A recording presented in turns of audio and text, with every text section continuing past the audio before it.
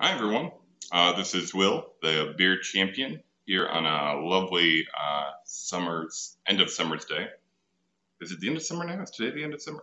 it feels like summer here in Seattle. It's uh, here near the end of September, uh, and uh, because it's September, we are still doing uh, food and beer pairings around the harvest.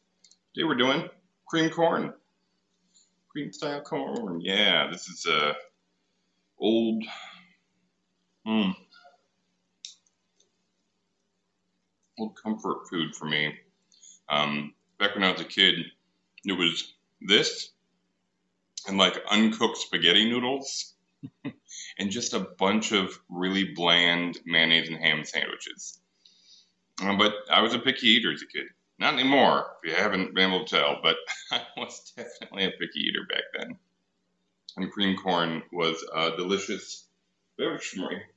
And uh, what better to pair uh, with corn than corn? This is a Genesee's special cream ale.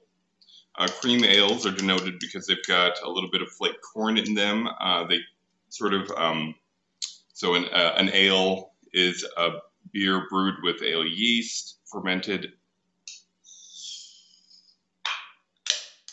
uh, at a little bit warmer temperatures. But this one, um, coming from German immigrants in the uh, 1800s is uh, brewed with an ale yeast, uh, but at lager temperatures. Uh, lager tend to be brewed a little bit colder, uh, and this one is just that. So this one is, um, oh yeah, like think of the best. So you take your, you know, your buds and your Pabsts and your Rainiers. Then uh, this one is just a notch up because it uses more flavorful ingredients to create a very light, sessionable, uh, what some people call a lawnmower beer because it's uh, a beer you might drink while you're mowing your lawn. Mm. And it has some flavors in it that are kind of like corn. So you have corn in your corn. Uh, this beer clocks in about 5.1% ABV. Uh, it came to us from uh, Genesee Brewery over in uh, New York, in Rochester, uh, as of 1960. Uh, it's said that cream corn is probably a, a, a Native American staple from the 10,000 years that they've been here guarding the land. and once uh, German, English, Irish, and all their other immigrants uh, came over here, they started exporting corn all over the world. Um, corn, which is harvest time, is coming up here in uh, late August, September, and October.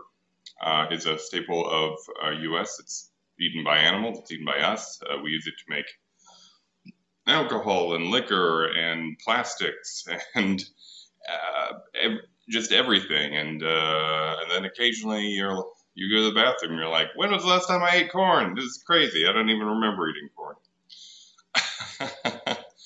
uh, but it's a wonderful little product of um, that the earth has given to us, and so I say, cheers to corn